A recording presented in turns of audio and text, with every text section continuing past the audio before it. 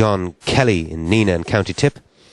And in the white collar here, we've got Lurga Gold, owned by Mr. Andrew Hopkins in Lurga and Charlestown in County Mayo. Uh, won the Tubbercurry member stake.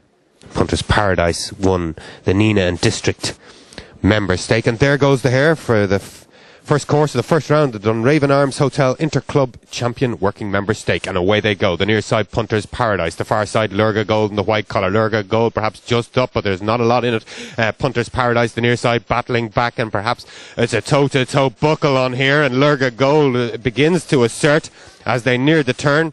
And Lurga Gold, Gold in the white collar will get that. Owned by Andrew Hopkins. Owned and trained by Andrew Hopkins in Charlestown in County Mayo. Between them in the red collar Kaluran Vieri for Donald Cooney, the winner at Tradery, and in the white collar Ho John Ran, owned by Joseph Reardon and Anne Taylor, uh, representing Doon. And Ho John, John Ran in the white collar here. Gets that turn by three or four lengths. Ho John Ran is owned by Joe Reardon and Anne Taylor in Cashel, Kilcullen, I should say. This one uh, in Old Kilcullen. And um, in the white collar here, we got Awesome Bell, owned by Tony O'Connor and Patrick Sutton in New Ross and Wexford.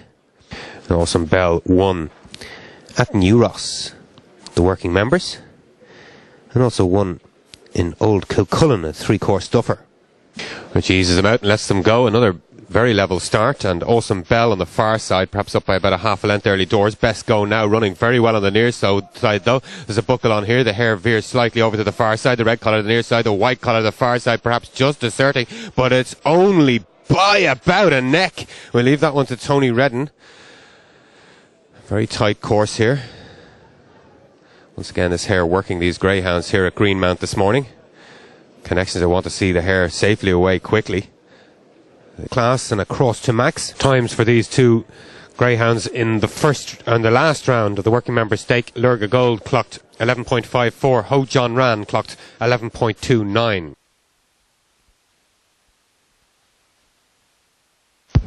And away they go in this semi-final on the far side. Ho John Ran on the near side. Lurga Gold. Ho John Ran though asserting by about a half a length. Lurga Gold close enough if it's good enough. But Ho John Ran zooms in on the hare. Uh, the hare swings a little bit to the right. And perhaps makes this course a little bit tighter than it perhaps otherwise would be. Once again, they're well away from the escape here.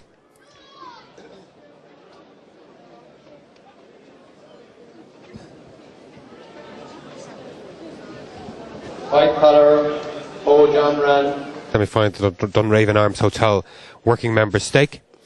Awesome Bell, owned by Tony O'Connor and Patrick Sutton in New Ross and Wexford.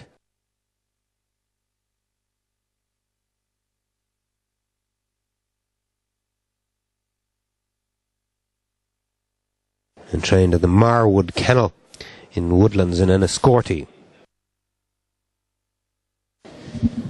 Let's get a few turns for Awesome Bell here. And Mrs. Anne Taylor in Limerick. Anne Taylor trains, representing Doon. And in the white collar here, we've got Awesome Bell, owned by Tony O'Connor and Patrick Sutton in New Ross in Wexford, and trained by Davy Morris in Enniscorthy in County Wexford. Ho John Ran representing Doon, Awesome Bell representing New Ross.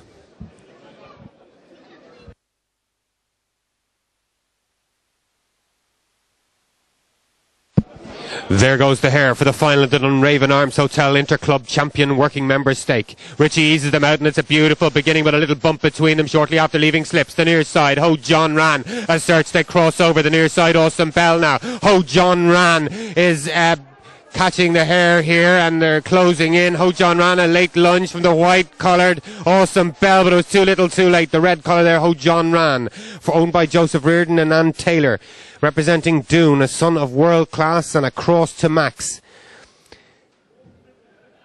Connections from the Cash- Cashel in County Tipperary in this one.